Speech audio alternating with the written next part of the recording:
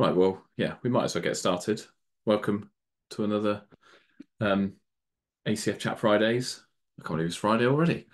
This week has gone very quickly. Um, this is our usual every two weeks open office hours with the ACF team. We record the sessions, we put it on YouTube, and we put do a blog post um, with the recording and a bit of a recap. Uh, we I don't think we've got a topic for today. We haven't got many many people in the chat. I think we probably tweeted less than we normally do.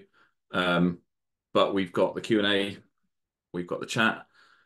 Uh, Diego, feel free to unmute, ask away. We can, you know, it doesn't necessarily have to be questions. We can just chew the fat on ACF if we need to, um, and we'll just see how the session goes. Because if we if we struggle for for conversation, we might just wrap it up early. But uh, yeah, we are still diligently working on the 6.4 major release, um, which we I think we did cover last time.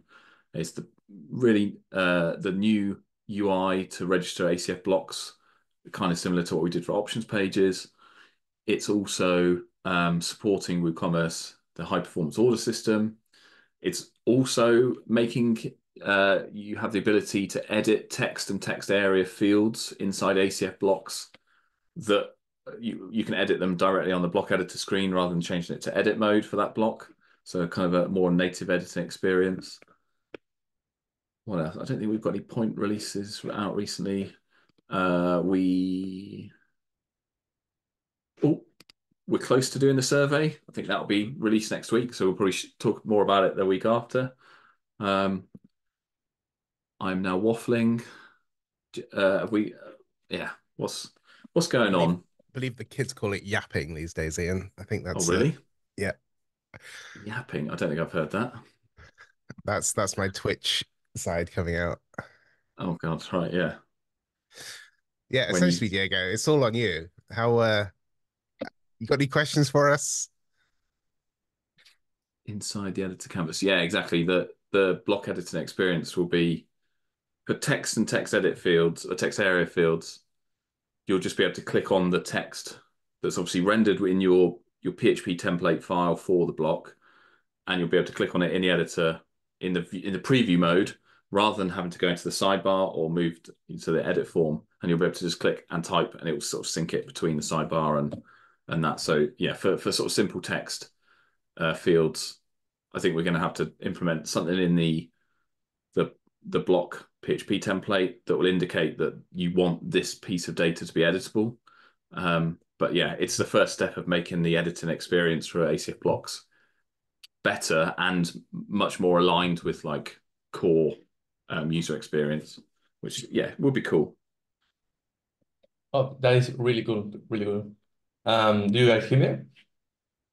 Yes. Yeah. Okay. Um, yeah. Uh, is it uh I am from a um, from a uh, from White Canvas that is a a, a developer uh, enterprise. We do WordPress and all that stuff, and we recently added like a like a plugin for, to do just that. So I guess it's going to be uh, deprecated real soon. Uh, we are applying to to do the editing inside the the editor, and yeah, but that's cool that we can do it uh, from the ACF right now. So oh, nice. That would be really good. Is that is that a custom plugin that you guys have built, or is that a third party plugin that that, that puts that ability yeah. for ACF blocks? Yeah, yeah, it's a it's a plugin that we built and it's in beta, but uh, yeah, it was like a trying to do like the canvas editing uh, with all the the ACF fields, and yeah, yeah. So we are looking forward to this uh, next update to to see these changes you made. It seemed really exciting. Nice. Yeah, that sounds good. Yeah, I'd love to see what you got, or you know, another time maybe, or it'd be it'd be great to, because obviously we've got like the the our vision of making it closer to core UI, but it would be nice to to see how other people would expect it to work. And I know somebody, I can't remember the, the guy's name, but he threw up on Twitter a few months back some sort of very, very fast and um, bit, a bit of a jQuery hack to make it work like that for simple text fields. And obviously, we're trying to re-architect some of the block um, code to allow us to make it more close to um, core UI and UX. But like that's this is something we're sort of it's a first step to make that possible, hopefully. Um, but yeah, it's interesting to hear. It's good. It's good validation, obviously, if that's something you've been doing to improve like the editing experience for your clients. Then we're we're on on the right track. Yeah. Uh, is this um, functionality is going to use uh, a custom uh, HTML component, like the uh, inner blocks? Ah, gotcha. Yeah.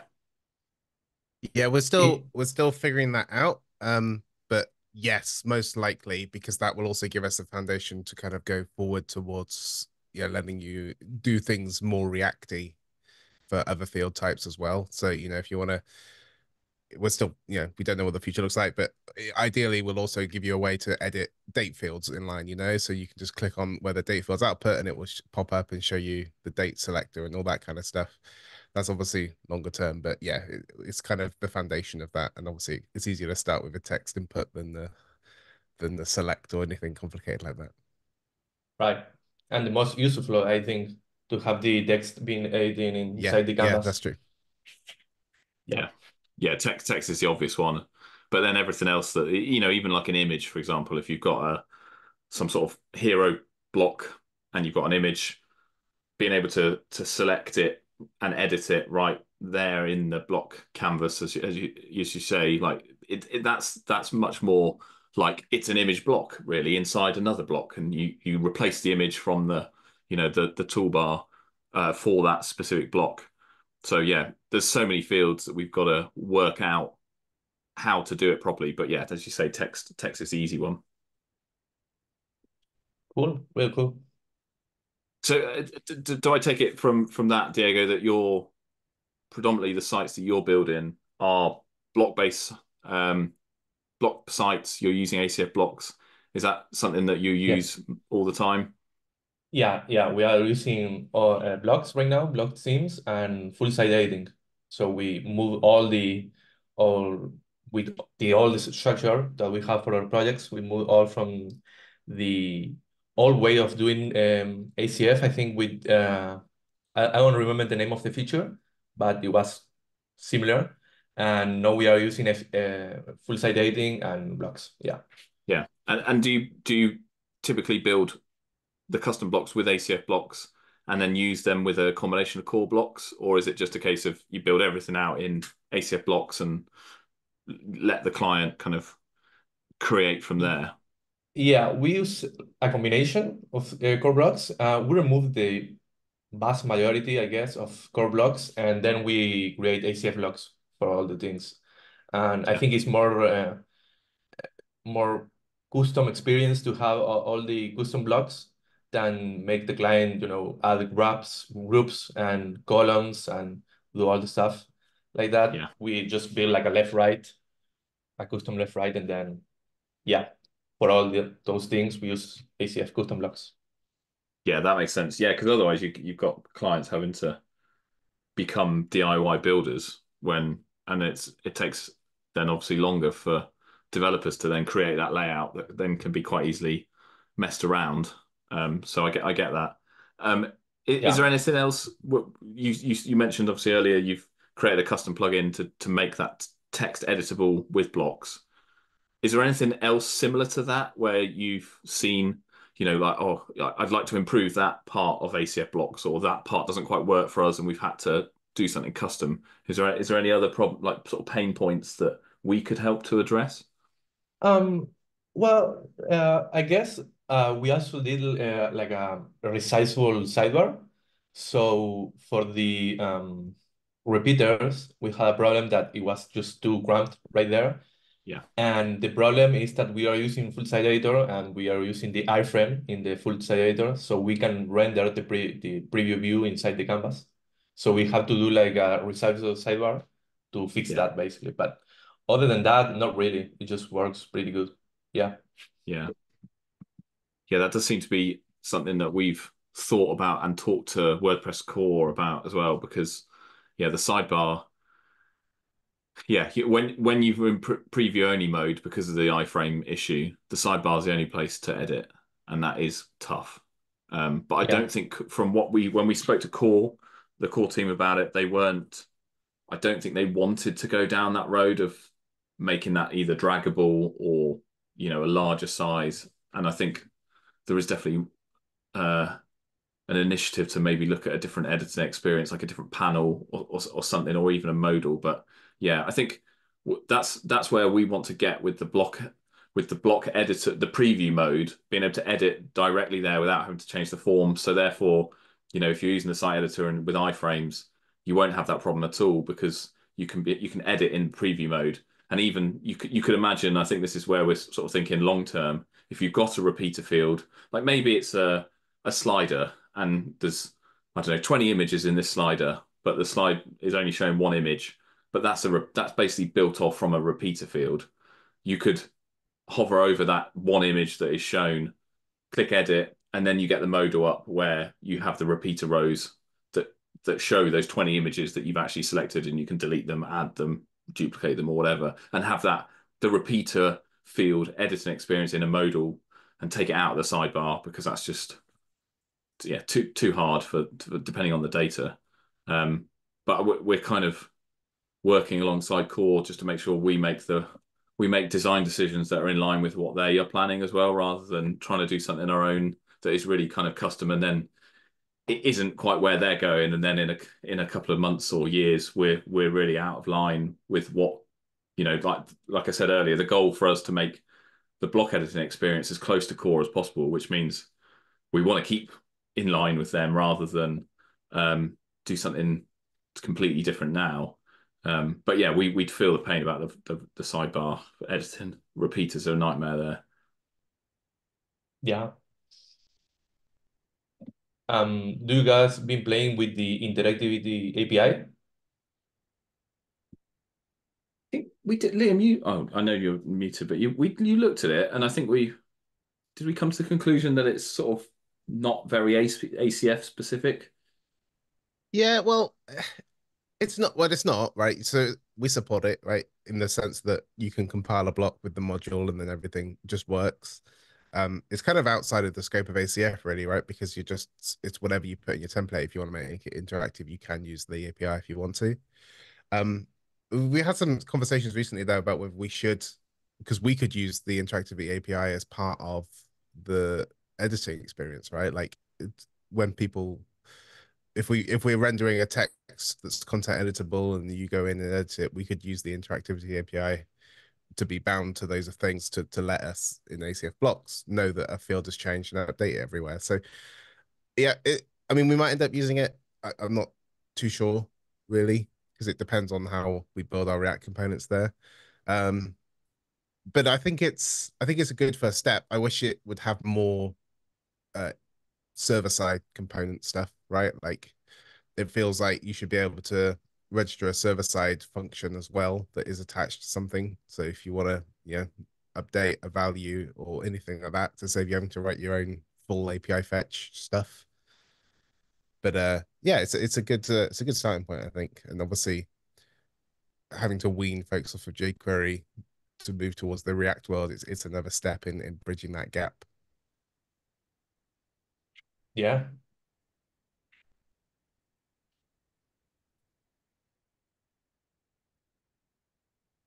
Yeah, I don't think we've we've heard of anybody using the interactive API, interactivity API with ACF from a user perspective with with anything other than use cases that people might do for normal blocks rather like there's nothing that gives it more um I don't know, more power just because you're using ACF blocks. It's just, I guess, it, if you're using metadata, then maybe it it works better. But yeah, I think it needs needs perhaps a bit more time within core to mature because everything seems to be released quite rough every release, and then obviously gets iterated on. Right. Yeah, and the interactivity API also needs like a build step that is uh, right now a little bit uh, experimental. So yeah, yeah, that's yeah. one of the issues too. We've got, I think, uh, actually, I think it went live earlier this week. Maybe Mike can drop a link in chat. Uh, we did a piece about uh, using WP scripts to build ACF blocks and, and multiple blocks tooling. And obviously, you have to use some kind of tooling to compile everything. Most people are going to use WP scripts. So, yeah, it's just another step of complexity that, you know, a lot of users are still just dipping their toes into blocks, right? They're not ready to go into, hey, I know what a, mod- a JavaScript module is and how to include it and all that kind of stuff. So, yeah, yeah, there we go. Yeah, that's funny because right now I just uh, updated our boilerplate to use the the WordPress scripts as a build step. Before that, we use a custom build step uh, with Webpack, but now right now we are using the WordPress scripts. It's worked really nice actually.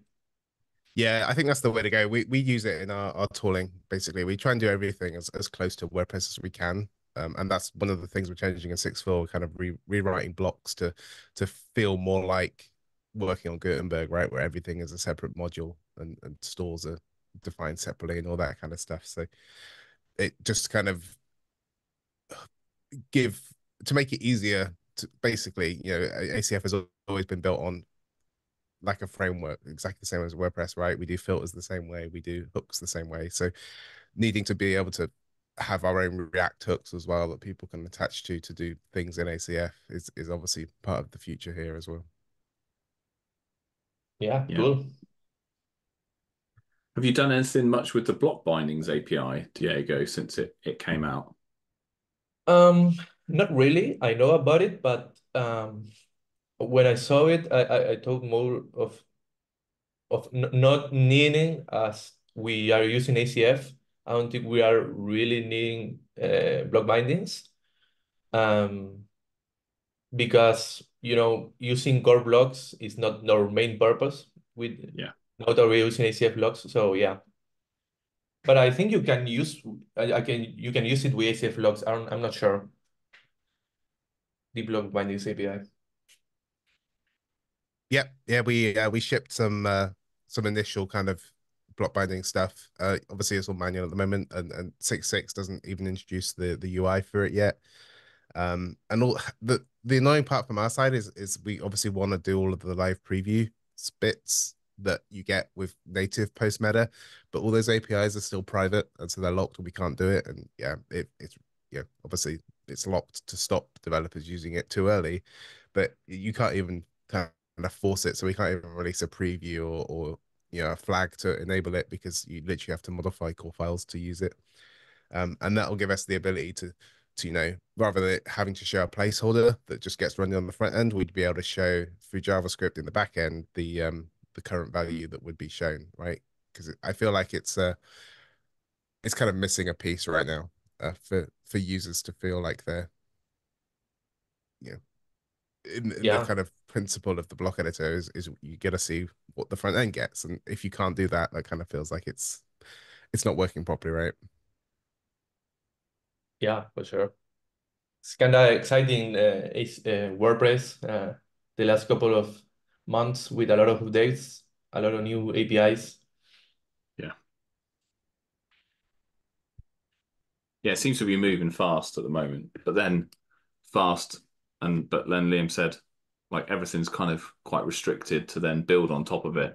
So it all comes out and it's new and shiny, and customers and users think, oh, how can I use this with X or Y? And then, but you can't really build onto on top of it until it's more mature within core. So it's kind of like bit chicken and the egg. It's it feels like it's kind of like core seems to get a lot of bleeding edge things released to it. But it is exciting. You're right, and it is it's good. It feels like there's much more momentum in WordPress core development at the moment for for good for for good and bad though because it's obviously all Gutenberg related. But yeah, it's it's obviously a a good way for people to build sites like yourself. You you leveraging the block editor, you're using ACF blocks, and it works. And it's it's like a new normal workflow at the moment. It feels like. Yeah.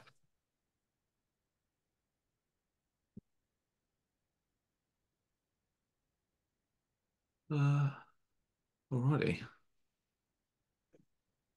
Did you have any other questions, Diego, or anything else you wanted to share? Sorry, putting all the pressure on you as the sole. um, I feel like you probably are our most most attended attended attendee. So thank you for your consistency and for showing up. We appreciate you. Oh no, no problem, no problem. Sorry for holding you, you guys hostess here, but uh, I always like to attend this stuff um, and be ready to ask questions. And ACF is a like the backbone of our all of the sites or projects, so it's good to be here and ask questions. Yeah, no, it's good. Thank you.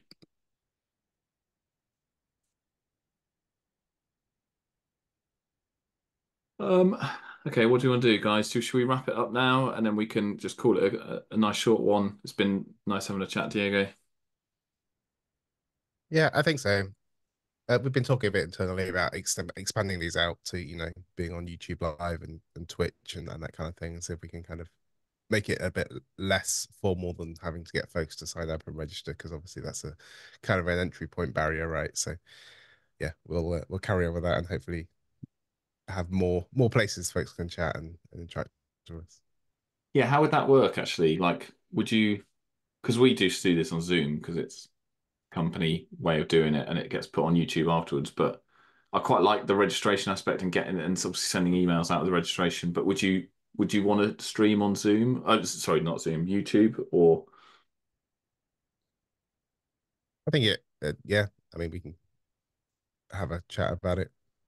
Yeah, but it does feel like uh, giving folks an easier place to drop in is uh, would help expand the audience.